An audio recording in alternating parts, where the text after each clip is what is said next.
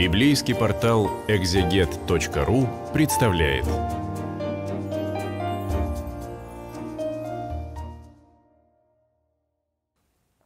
Тридцатая глава э, книги пророка Исаия. Я читаю свой перевод Андрей Десницкий для библейского портала «Экзегет». И комментирую его немножко. Ну вот в конце 29 говорится о том, что э, израильтяне, когда увидят своих детей, не придется им краснеть за этих детей. То есть э, они обретут разум, получат наставление. В 29 все сказано хорошо, но всегда бывают правила, бывают исключения. Что же будет с теми, э, кто поведет себя иначе? Об этом в начале 30-й. Горе мятежным детям, пророчество Господа. Замыслы свои исполняют, но это не от меня. Заключают союзы, но без моего духа. Только грех прибавляют к греху. То есть, э, что ж плохого заключать союзы, исполнять замыслы? В том-то и дело, что человек, э, и в данном случае целый народ, может э, создавать вот нечто хорошее в соответствии с волей Божьей, а может о Боге не помнить и, э, ну, как у нас в стране там строили коммунизм, много чего построили, в том числе и хорошего, но все это было без Бога, да, и поэтому не очень долго простояло. А, и, возможно, здесь даже не про исключение про тех детей, которые в будущем не придут к Господу, но про тех, кто сейчас э, заключает союзы, исполняет свои замыслы, не оглядываясь на него, оглядываясь, естественно, на сильных соседей. Отправляются в Египет, меня не спросив, под защиту фараона прибегают, прячутся в тени Египта. А Ассирия наседает с севера, Египет э, тоже большая и очень мощная держава, Э, которая на юге, из которой когда-то израильтяне вышли, и вполне логично, если на вас нападает, а вы маленькая страна, на вас нападает одна большая держава, э, прийти к другой и попросить помощи. Но дело в том, что ни той, ни другой вы, как э, самоценный самостоятельный партнер, не нужны. Либо вы пища для хищника, либо вы деталь пейзажа, на которую внимание просто обращать не будут. Ну и фараон, египетский царь, может, конечно, заключить какой-то союз и договор, но он будет исполнять его только в той мере, в которой этот договор ему самому выгоден, а не в той мере, на которую вы рассчитываете. Защита фараона обернется для вас позором, тень Египта — бесчестием, хоть добрались вожди до Хцоана, вестники до самого Ханеса. Но это египетские города, туда глубоко в Египет проникли, там со многими беседовали. Не нужны вы Египет, а Богу нужны. Опозорится всякий, кто полагается на этот народ бесполезный, ни подмоги от них, ни пользы, только позор и бесчестие. Возвещено о животных Нигева. Это э, пустыня на границе с Египтом, поэтому это, в общем, э, ну, такие вот египетско-ориентированные животные. Да, конечно, символическая вещь, вряд ли это про зверушек, все-таки скорее про людей. А животных Негева по земле печальные и скудные, где львы и львицы, где гадюки и летучие змеи везут на ослах свое богатство, сокровища на горбах верблюжих в дар тому бесполезному народу. То есть э, Негев — это территория, по которой проходит караван с подарками для египетской э, верхушки. Но помощь от Египта ничтожна и ненадежна. Назову его недвижным Рахавом. А Рахав — это э, чудовище, которое живет в воде, вроде Левиафана — ну, то есть э, такая большая зверюга, мифологический скорее образ, трудно понять, что-то имелось в виду конкретно, какие-то киты, но в Средиземном море, в общем, с китами не очень э, хорошо обстоят дела, они обычно туда не заплывают, или, может быть, действительно это чистой воды вот образ такой, как дракон, да, у, почти у всех народов есть такой образ, как дракон, хотя, ну, насколько мы знаем, драконы не, не водятся и не водились никогда на земле, огнедышащие летающие змеи вот, крылатые. Но, э, может быть, это вот как раз такой вид дракона. В любом случае, э, это такая огромная зверюга, которая бесполезна, которая неподвижна. Теперь ступай, напиши это на табличке, начертай это на свитке, два основных материала для письма, э, папирусный или пергаменный свиток и табличка из глины, иногда даже из камня, на которых что-то писали. Напиши это на табличке, начертай это на свитке, чтобы на будущее сохранилось навсегда, навеки вот кто послушает тебя сейчас? Они заключат союз с Египтом, а ты запиши. И когда все выйдет так, как я тебе сейчас говорю, тогда ты покажешь, что ты-то был прав. Но не для того, чтобы ты был прав, а для того, чтобы э, действительно пророчество понималось и в других случаях как пророчество, а не как пустое сотрясение воздуха. Ибо это народ мятежный, лживые дети, дети, не желающие слушать закон Господень. Провидцам они говорят, не смейте видеть, пророкам, не прорекайте нам правды, польстите нам, прореките обман, оставьте свой путь, прочь ступайте, уберите от нас святого Бога Израиля. Ой, сколько раз, сколько раз доводится слышать, когда пророчествуют, говорят, э, да просто даже анализируют происходящее, говорят что-то неприятное. Не смейте этого видеть. Закройте глаза. Не прорекайте нам правды, польстите нам, прореките обман. А если не хотите, ступайте прочь. Конечно. Зачем нужны пророки, которые говорят то, что мы не хотим слышать? На это отвечает святой Бог Израиля. За то, что вы отвергли это слово, понадеялись на силу, оперлись на обман, станет для вас этот порог стеной высокой, что расселась и вот-вот рухнет, падет внезапно, в мгновение ока. Разлетится она, как глиняный горшок, разбитый со всего размаху. И среди обломков не сыщут черепка, чтобы захватить уголек из очага или воды зачерпнуть из пруда. Ну, когда глиняный горшок разбивается, да, понятно, что э, в обществе, где очень немного ресурсов, черепки обычно тоже используют. А как используют? Уголек вынуть из очага, ну, руками не возьмешь, а вот возьмешь э, обломок горшка, какой-то черепок глиняный, вот и зачерпнешь этот уголек, чтобы там, ну, зажечь фитиль, например, да, или э, положить его в другой очаг и поджечь э, там огонь. А, или воды зачерпнуть из пруда. То есть, э, ну, горшок, он же такой вот кругленький, да, можно взять такой кругленький черепок, зачерпнуть и попить водички. Вот будет настолько все это разбито в куски, что вот мельчайшие только кусочки останутся, а ни одного полезного черепка не будет.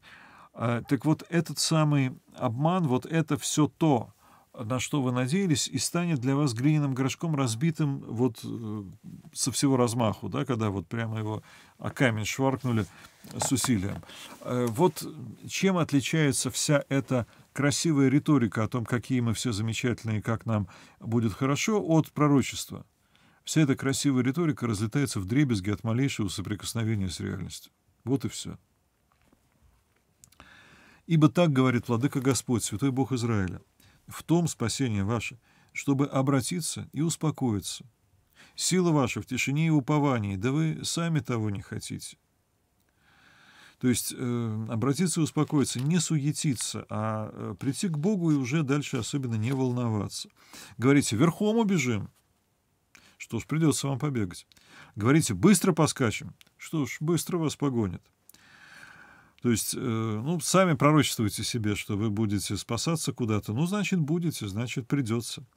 Где один погрозит, тысяча побежит. А где пять погрозят, побежите так, что останется от вас лишь шест на горе, да знамя на холме. Да, такая армия, которая собралась, она там укрепила свое знамя на холме, э, и там какой-то символический жезл, шест, вот только это и останется. И все же Господь ждет, чтобы явить вам свою милость, поднимается, чтобы вас пожалеть. Господь праведный Бог, блаженны все, кто уповает на Него. То есть только осталось обратиться, да? Народ на сегодня живущий, рыдать себе больше не придется, Он милость свою тебе явит. И когда ты заплачешь, едва услышав, тебе ответит. Вот только обратись, да? Владыка накормит себя горьким хлебом, напоит водой печали, но не скроет твои учителя глазами своими будешь видеть учителей, и уши твои услышат, как голос позади тебя скажет. Вот, вот путь, по нему и ступай. А, вот смотрите, да, то есть он напоит и накормит, это будет вода печали и горький хлеб, то есть это будет какое-то грустное э, событие, не будет так, что прямо вот все совершенно замечательно, все радостно, но тем не менее своими глазами будешь э, видеть учителей, а может быть учителя в единственном числе там Э, неоднозначен оригинал, и э, главное, что будет показан путь, по которому нужно ступать. Выбросишь тогда, как нечистоты, посеребренных идолов, позолоченные статуи, словно женщина тряпку после месячных. Вот есть такие прямо очень э, физиологические образы, и эти самые идолы, посеребренные, позолоченные, они сравниваются действительно с таким, ну прямо что в руки взять неприятно. И скажешь им «прочь», Тогда пошлет он дождь на твои семена, и урожай, который взрастит земля, будет богат и обилен, а стада твои будут пастись на просторных пастбищах, а валы и ослы, что обрабатывают твои поля, будут есть подсоленный корм, провеянный вилой и лопатами, э, вилами и лопатой. То есть э, вот до мельчайших деталей. Любят же животные есть соль, и у тебя будет достаточно соли, чтобы даже э, валам и ослам э, подсыпать соли в кормушку. Им же это хорошо. И на всякой горе вознесенной, на всяком холме высоком потечет вода ручьями и потоками. С одной стороны, все будет хорошо. В день великой резни, а с другой не очень, когда рухнут башни. Луна будет светить, как солнце, а солнце в семеро сильнее, словно семь дней засияют. Тоже вроде как не очень хорошо. Это что же, э, если в семь раз увеличить солнечный свет, просто все сгорит на земле.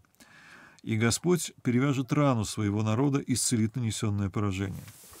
Вот э, такая череда образов, где что-то очень милое, мягкое, домашнее, урожай, эти самые валы и ослы, которые едят провеянный, просеянный корм, то есть не что попало, а для, для них готовят еще солят специально с минеральными добавками.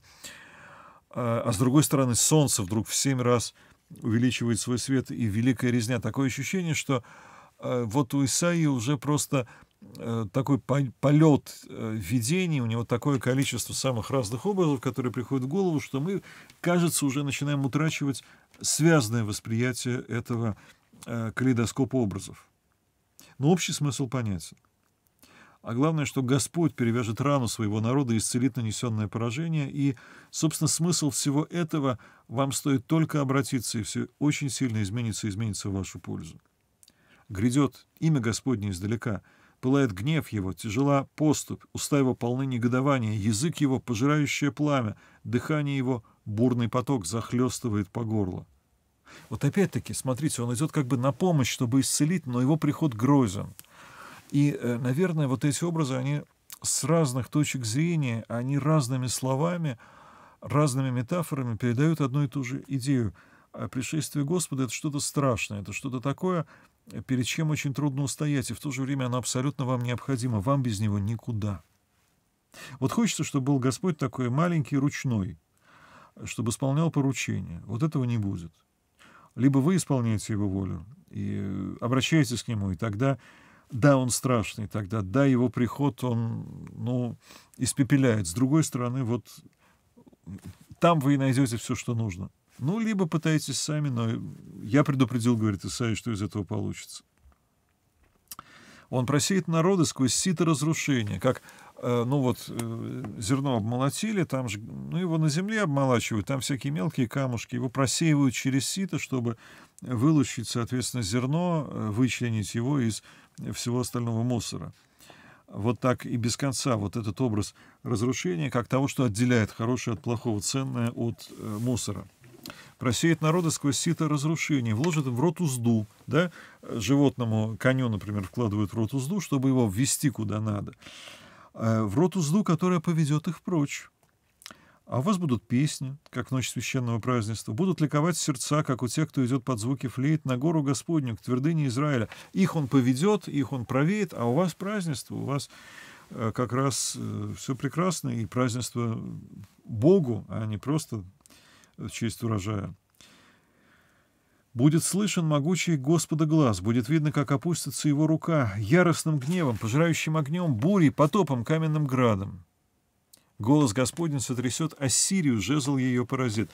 Вот, наконец, э, он называет, собственно, ту э, страну, с которой у израильтян большие проблемы, которая грозит и с которой э, пытается справиться израильский народ. Голос Господень сотрясет Ассирию, жезл ее поразит, и всякий удар жезла, который определил и направил Господь, будет по звуке бубен и арф. Без устали разит его рука. То есть, смотрите, у вас там веселое празднество, а, а там Ассирия падает под какими-то другими ударами. Не вы ее победите, а вы будете веселиться, только будете с Господом. Так, кстати, оно со временем и вышло. Давно устроен погребальный костер, может быть, не костер, а просто географическое название — тофет, э, но это и означает погребальный костер. Э, есть два способа погребения основных. Либо в землю закапывают, либо сжигают. Погребальный костер приготовлен он для царя, широк он и высок. Много там дров и горючих веществ. Дуновение Господа запалит его, словно поток горящей серы. Вероятно, речь идет об ассирийском царе, вообще обо всей этой империи, для которой готов погребальный костер – и остается только его Господу запалить, а э, ваша задача обратиться к Господу. Напомню, что э, критике э, посвящена была предыдущая глава, и там критиковалось желание найти себе союзников в Египте, желание выстроить самостоятельно свою внешнюю политику, обращаться за помощью не к Богу, а к Египту. Ну и в следующей 31 главе продолжится тот же самый разговор о Египте, с которым, в общем, ничего хорошего не получится.